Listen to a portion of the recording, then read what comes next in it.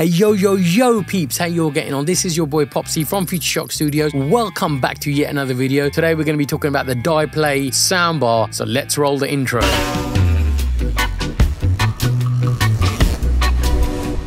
Welcome back. So, in recent years, there's probably not a household that doesn't have some kind of audio cinema system at home. And the popularity with soundbars or cinema systems has grown in popularity. I would say that most households throughout the world either have one of the two. Dyplay did send me the soundbar for a review and test. However, all the opinions are going to be mine. So, with that being said, if you haven't already subscribed to the channel, please do. There's going to be plenty of reviews just for you. Also, please do not forget to check the timestamps below that'll help you navigate through the video. So let's start with the unboxing and see what comes in the box.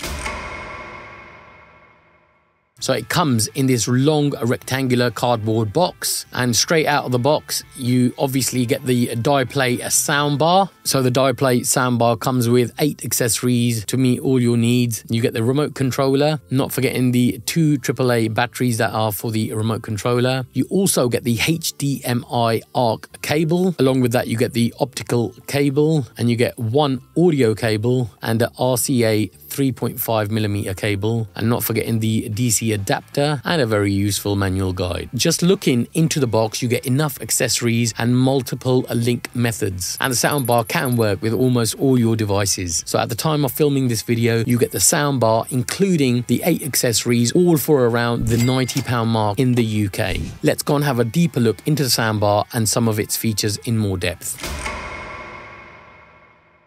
So the Dyplay soundbar links up with Bluetooth 5.0 and USB. It's a built-in dual speaker system. It's a 31-inch soundbar for TV. So something that a lot of people haven't mentioned about this soundbar is a two-year replacement and lifetime technical support. It has a 2.1 surround sound channel configuration and the speaker's maximum output level is 120 watts. You can either control it with the provided remote control or the switches on the right-hand side of the soundbar soundbar. It's quite an elegant looking soundbar coming with this black glossy finish wrap. The dimensions are 30.7 inches long and 2.4 by 2.4 inches tall. At the bottom of the soundbar there's some kind of rubber silicone feet to protect whatever surface it sits on. Moving on to the rear of the soundbar we have these mounting points which also have some rubber foam padding giving protection to whatever surface you decide to put the soundbar onto. It has this black shiny gloss finish. The speakers are hidden behind this well metal mesh grill. On the right hand side of the soundbar, you have these button controls, which include from top to bottom the power button, the audio source input button, the volume reduction, and then finally at the bottom, you have the volume increase and next button. Let's go and have a look at some of the connectivity options the soundbar gives. On the right hand side of the soundbar, there's a number of different available connections, which include USB, an auxiliary 3.5mm port, an optical cable port, a power port for firing the soundbar up. On the adjoining side, you have a HDMI ARC connection, a TF port, or some call it a micro SD port. So let's go and fire up the Dyplay soundbar. Once the soundbar is connected to the power supply, it's going to give you this red LED indicator to say it's on standby. With that all being said, let's go and connect it to the 5.0 Bluetooth and I'm going to connect it to my iPhone 13. So the remote control has a Bluetooth button to press and connect with the soundbar. Let's go and connect the soundbar with my iPhone and let's go and see what happens there. So I'm going to press the soundbar button now and you get this robotic type female voice that says Bluetooth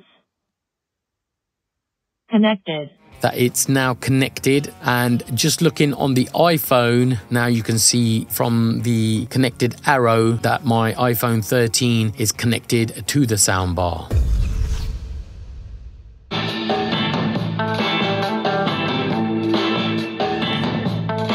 And now I'm going to be moving the volume all the way up.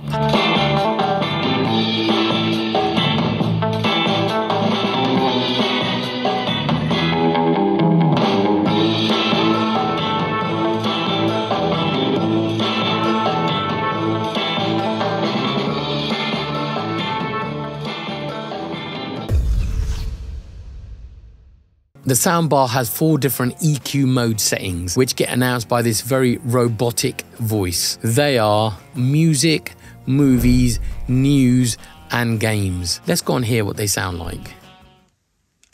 Movie. Music. News.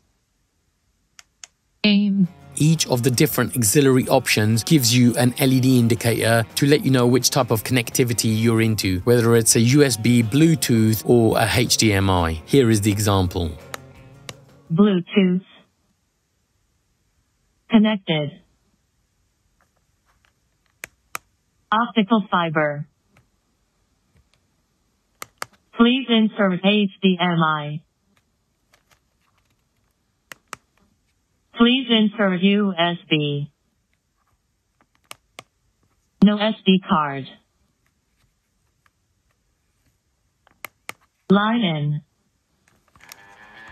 Another great feature that comes with the Dyplay soundbar is that when you press mute once, it will mute the music. And if you give it a couple of second press, it gives you the option of turning the LED lights off if it's annoying for you. I personally do like having the LEDs on. Just lets me know what auxiliary mode I'm in. The quality of the different mode buttons on the end of the soundbar, surprisingly, they're pretty good. So let's start wrapping things up. What did you guys think of the soundbar? Is it something for you? If it is, drop your comments below.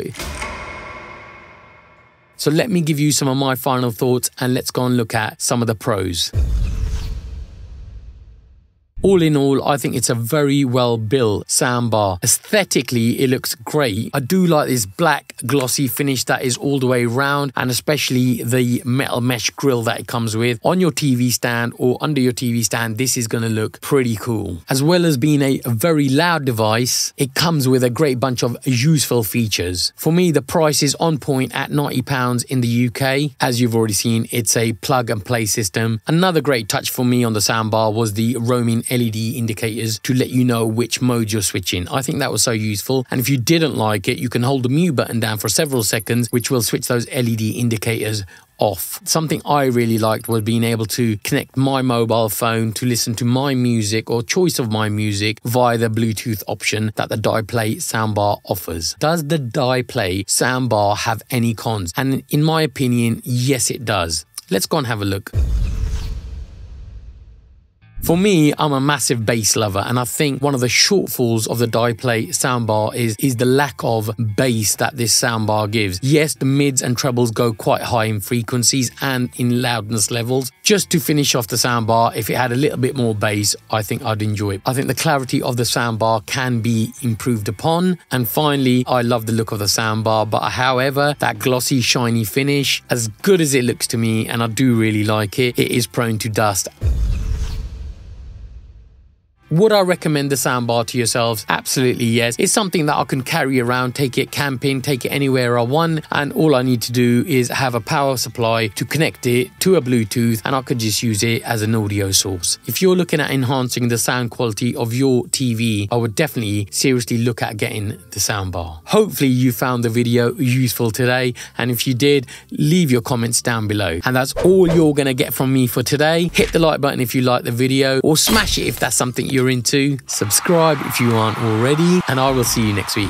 Bye.